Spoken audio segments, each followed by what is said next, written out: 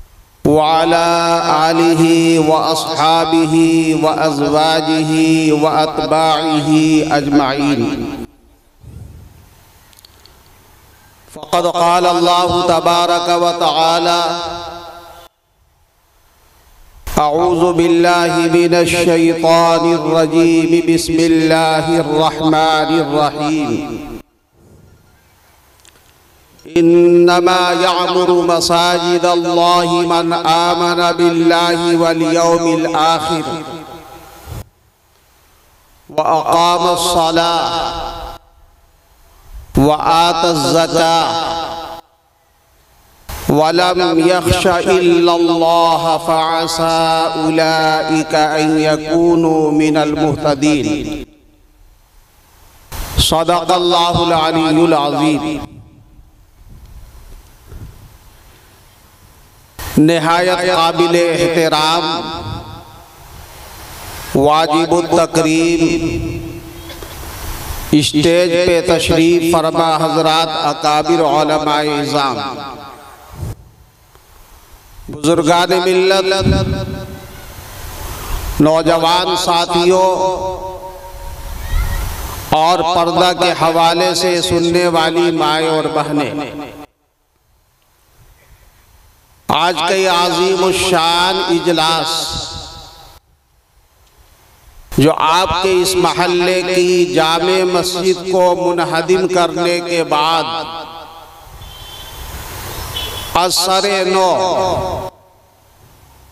आबादी का ख्याल फरमाते हुए तामीर तोसी के उनवान पर। यहाँ के दानिशवरान गयूर नौजवानान, ख़ास तौर से अरबाब इल्म फजल ने कायम किया है। यकीनन वो काबिल मुबारकबाद है। काबिल मुबारकबाद इसलिए नहीं है, उन्होंने ये बड़ा काम अंजाम दिया है। बड़ा फरीजा अंजाम दिया है। अहम खिदमत अंजाम देने की कोशिश फरमाई है। नहीं, बल्कि काबिल मुबारकबाद इस उनवान पर है। गौर से सुनिए, काबिल मुबारकबाद इस बुनियाद पर है कि रब्बुल जलाल वल इकराम ने इन हजरात को अपने घर की तामीर के लिए मुंतखब फरमाया यकीनन, वो शख्स बहुत काबिल मुबारकबाद, जिसको अल्लाह के घर की तामीर की खिदमत मौका नसीब आ जाए, मौका मिल जाए। अल्लाह तबारक व अपने घर की तामीर की फ़िक्र उसके दिल के अंदर डाल दे। किराम ने बयान फरमाया है, वो हजरात जो अल्लाह के घर की तामीर का दर्द रखते हैं। तामीर का मतलब सिर्फ़ जाहिरी तामीर नहीं, शानदार इमारत तैयार करना सिर्फ़ मकसूद और मतलूब नहीं, बल्कि साथ साथ उसको आबाद रखने की एक कुढ़न और एक जज्बा और शौक रखते हैं। और इसके लिए तन, मन, धन की बाजी लगा देते हैं। सुबह शाम की फिक्रे इसी महवर पर उनकी घूमती रहती है। इसी उन्वान पर वो काम करते रहते हैं। ओलमाए कराम ने बयान फरमाया है अल्लाह तबारक व ताला उनको और उनकी नस्लों के अंदर हिदायत का फैसला फरमाता है। आप अंदाज़ा लगाइए कितना बड़ा वादा। आज का ये वो जमाना है जहाँ तमाम बातिल ताकतें, दुश्मनान इस्लाम के तमाम मुनज़म मंसूबे, उनकी तमाम स्कीमें उनकी तमाम तदबीरें इस उन्वान पर काम कर रही है। किस तरह से मुसलमानों के दिलों से मसाजिद की आजमत को निकाल बाहर कर दिया जाए। मदारिस की अहमियत को इनके दिलों से छीन लिया जाए। कुरान और सुन्नत से इनकी ज़िंदगी को किस तरह से मुनहरिफ कर दिया जाए। काट करके रखा जाए। ऐसी नाजुक तरीन मौके पर अगर कोई बंदा खड़ा हो करके अल्लाह की घर की तामीर का दर्द रखता है, उसकी फ़िक्र करता है, मंसूबे बनाता है दर दर घर घर जाया करता है तो यकीन जानिए वो बंदा बड़ा काबिल मुबारकबाद है। मुझे वो रिवायत याद आती है। आप हजरात को अच्छी तरह से मालूम है। हज़रत अबू उमामा बाहिली रज़ी अल्लाह तरावी हदीस है। वो बयान फरमाते हैं, सरवर कायनात फखर दो आलम मोहम्मद सल्लल्लाहु अलैहि वसल्लम की पाकीजा और नूरानी मजलिस और महफिल कायम है। अचानक एक यहूदी आलिम रूनमा होते हैं, हाजिर खिदमत होते हैं और आने के बाद चंद सवालात करते हैं। उनमें से एक सवाल होता है अफजल?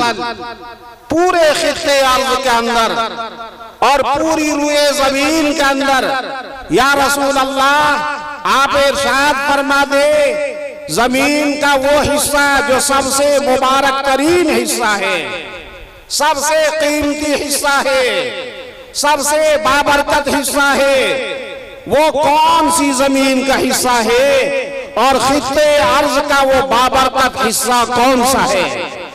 रिवायतों में आता है, सरवर कायनात मोहम्मद रसूलुल्लाह सल्लल्लाहु अलैहि वसल्लम ने कोई जवाब नहीं दिया। आपको नहीं पता था। आपको मालूम नहीं था। आप खामोश रहे। दरबार रिसालत है। अल्लाह के नबी का पाकिजा महफिल और मजलिस है। और अल्लाह के नबी से ये खिदमत की खिदमत में ये सवाल किया जा रहा है। हुजूर अकरम सलाम खामोश है। यहाँ तक के सैयदुल मलाइका, हज़रत जिब्रील अमीन आपकी बाबरकत खिदमत में हाजिरी देते हैं। अर्ज़ करते या रसूल अल्लाह आप क्यों खामोश है? अल्लाह के नबी ने इरशाद फरमाया, जिब्रील अमीन ये फला बंदा आया है, ये इसका सवाल है, ये इसका आरिजा है, ये ये पूछ रहा है, भला बताओ पूरी रुए ज़मीन के अंदर सबसे बाबरकत हिस्सा कौन सा हिस्सा है?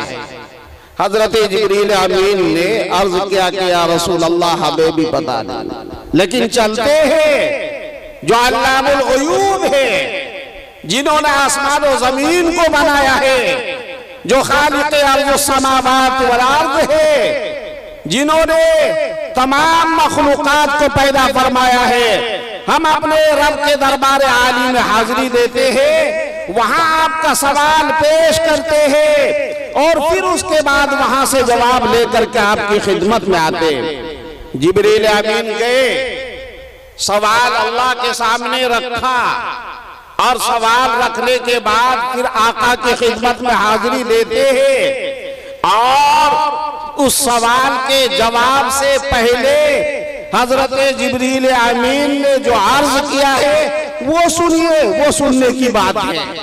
मुझे ये अर्ज़ करना है आप अंदाज़ा लगाइए कितना मुबारक हिस्सा।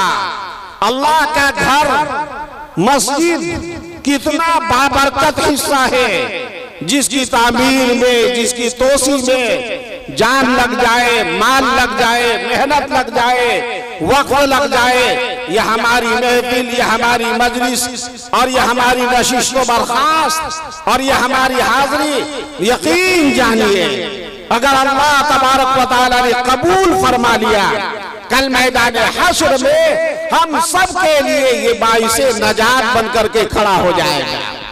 बाईस नजात बन करके खड़ा हो जाएगा। जिबरील अमीन ने अर्ज़ किया कि या रसूल अल्लाह आपका सवाल लेकर के अल्लाह के दरबार आली में पहुँचे और पहुँचने के बाद अल्लाह के बहुत करीब गए और इतना करीब गए और इतना करीब पहुँचे और कुर्ब का इतना आला मकाम हमने हासिल किया। जिबरील अमीन ने अर्ज़ किया कि या रसूल अल्लाह इससे पहले बार अल्लाह की खिदमत में हाजिरी का मौका मिला है। लेकिन अल्लाह के दरबार में इतना करीब इससे पहले कभी हम नहीं पहुँचे। थे इतना करीब पहुँचे। और कितना करीब पहुँचे। हज़रत जबरील अमीन ने अर्ज़ किया कि रसूल अल्लाह हमारे और हमारे रब के दरमियान सत्तर हज़ार हिजाबात लगे हुए थे। सत्तर हज़ार पर्दे लगे हुए थे। हम अल्लाह के इतने करीब पहुँचे। और कुर्ब का इतना आला मकाम हासिल किया। और फिर उसके बाद हमने आपका सवाल अल्लाह की खिदमत में पेश किया कि रब कायनात, आपके महबूब के दरबार में एक साइल आया है जो सवाल कर रहा है, पूरी रुए ज़मीन के अंदर सबसे बेहतर मकाम कौन सा मकाम है? अल्लाह तबारक व ने जो जवाब दिया, या रसूल अल्लाह वो सुनिए, खैरुल बिकाई मसाजिदुहा व शर्रुल बिकाई अस्वाकुहा। तमाम जगहों में सबसे बेहतरीन जगह, सबसे अफजल तरीन मकाम अगर कोई है तो वो मस्जिद है। आज अल्लाह तबारक व ताला ने यहाँ वालों को ये मौका फराहम किया है। यकीनन, ये मस्जिद आबादी के तनासब के एतबार से नहायत छोटी थी। लोग कहते, कैसे शहीद कर दिया गया और कैसे बना दिया गया। अभी आप हजरात ने समाज फरमाया, जमाने कदीम से इस्लामी तारीख है, इस्लामी रवायात रही है। जमाने के लिहाज से, जरूरियात के एतबार से मदारिस हो, मसाजिद हो, इनके हर दौर में तो और आगे बढ़ने का, बढ़ाने का काम करता और होता रहा है। आज अल्हम्दुलिल्लाह, आप हजरात ने ये फरीजा अंजाम देने की कोशिश किया है। अल्लाह तबारक व बेहद कबूल फरमाए।